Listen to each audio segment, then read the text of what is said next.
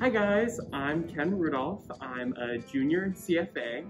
I'm studying graphic design and I'm minoring in business in Questrom. And I use he, him pronouns. What are some things that make you excited for your art? Yeah, so I feel like a big part of my process is definitely getting feedback. I live with two other graphic design students and I definitely use them as a really big resource in my process. I love seeing like the work that other people are creating and that always definitely inspires my own work. So what are your current projects that you're working on now?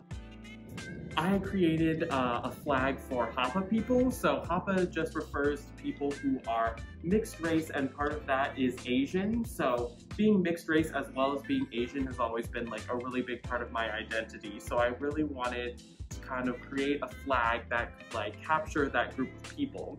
So as you can see in the flag, I incorporated a lot of elements from different Asian flags and, uh, and added this additional element as the dragon to kind of represent all Hapa people.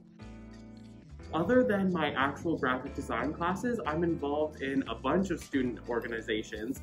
Um, I do work for two different um, on-campus magazines here at BU. I'm on the graphic design team for The Buzz and Off the Cuff, which are two of our kind of fashion, art, lifestyle magazines here at BU.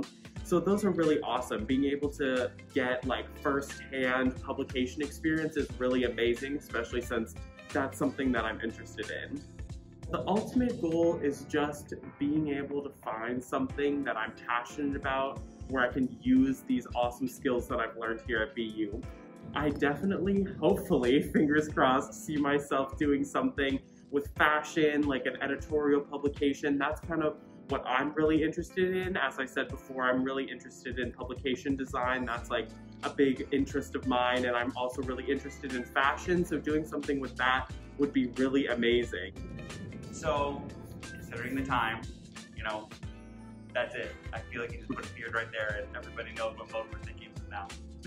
what are some of the ways you're staying motivated or how has everything that's happened made you adapt or think creatively about your art or how has it evolved? Yeah, definitely. It's definitely been a big struggle to kind of stay motivated with my art making process. I know one thing that's really helped me throughout the semester has just been coming in person to classes. Like, it's been really such a struggle to get motivated about things, but coming into classes, I get to see my peers, I get to talk with them in person, show them the things that I'm working on, see the things that they're working on. That really helped me stay motivated. Beautiful, beautiful. Ken, is there anything else you want to say to students at CFA or artists here in our program? Uh, I just want to say I know things are tough and things are challenging right now, especially with COVID. Such a big part of art making is collaborative and that it's really put a strain on everyone's kind of creative process.